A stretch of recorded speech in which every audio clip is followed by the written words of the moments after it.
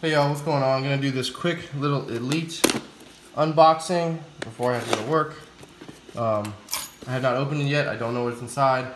I'm gonna get into this right now, but I wanna say just stay tuned because we've got some epic videos coming from Cabo San Lucas where we went offshore and got some cool fish. So stay tuned for that. Anyways, here's the box. Let's open it up. Okay, still same box as usual with the ruler and all that. Let's look at the contents. Okay, Whopper Plopper. I don't think I have one in this color, but this is, I think, something that every bass angler should have in their tackle box. Um, it's great. You can kind of uh, pop it or just reel it in and the tail spins and all that. Uh, it's a really, it's, I think it's just one of those things that is essential for every bass angler to have um, in their in their tackle box. So take it out so you guys can see it. Here it is. And so when you pop it, uh, not only does it have, you know, um, this tail that moves, so it would make a nice big splash just from the popping action itself, but this tail spins. So like I said, you can just reel it in, and this tail will spin like a helicopter and create a lot of uh, splash behind it too. So this is just a, a, great addition to your tackle box. Even if you have one, it's not. It's good to have another one. All right. This is called Big O's Game Changer. The Eliminator. Okay, that's kind of cool. I wonder if they give you a um, anything to rig them up with. I'm sure they do. They always do. These are pretty cool. Is it already kind of opened up? Yeah. There we go.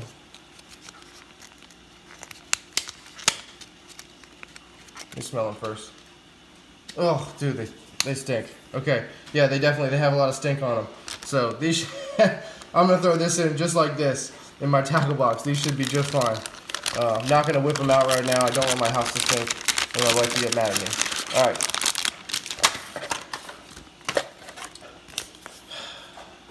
Nice. That's a funny sticker. All right. Uh, cool. Perfect. I think I actually have the same one. No, no, actually I don't. I don't have one.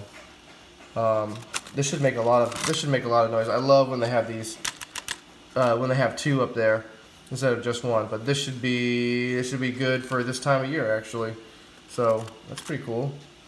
Um, anything specific about these? No.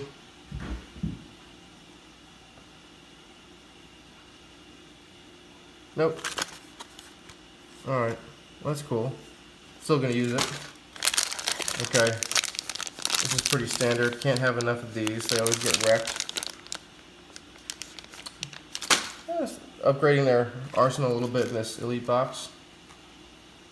Um, a Yo-Zuri. Nice. Square bill. Crank. Perfect. Yo-Zuri's really stepping their game up. I didn't used to like them. Um, and their baits. I thought they were a little bit too kind of fake, but they've really started to step their game up, and Yo-Zuri makes some really good baits, freshwater, saltwater. Um, I really, I really like them. So this is a sweet little bait, though.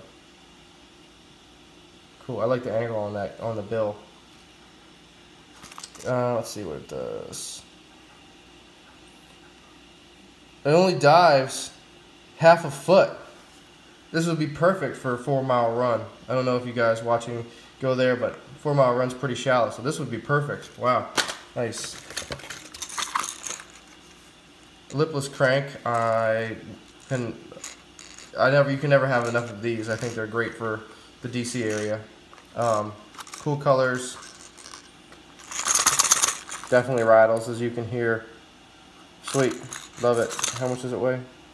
Three quarter ounce. Perfect, so it'll cast a mile too. All right, oh, here we go. Gamakatsu um, worm hooks. So that'll be perfect. Perfect. I was wondering where those were. Alright, big eye bucktail jig. Actually, Mustad, this is like for inshore saltwater too. Um, you could use this for rockfish if you guys are on the east coast. Uh, this is not just really for bass. You could use this for, for really whatever.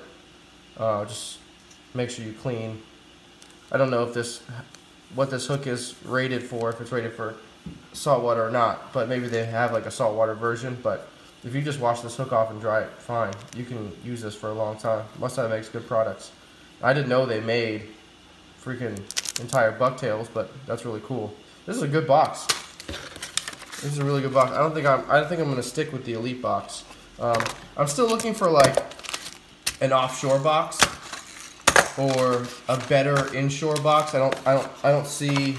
I haven't seen any products um, from the other inshore boxes that I, I really like. Um, I know we don't have a lot in this area, but um, the offshore fishing, you know, on the East Coast is nice. We do have amberjack. We have, you know, big tunas, and I know it's mostly, you know, live baiting for big tunas and all that. But my point is that we, we do have offshore fishing here, so there's no reason that we can't have a nice uh, offshore box. Anyways, guys, like I said, stay tuned. Thanks for joining me. We got some really cool videos coming up uh, in the next couple weeks from Cabo San Lucas. So I'll talk to you guys later. All right.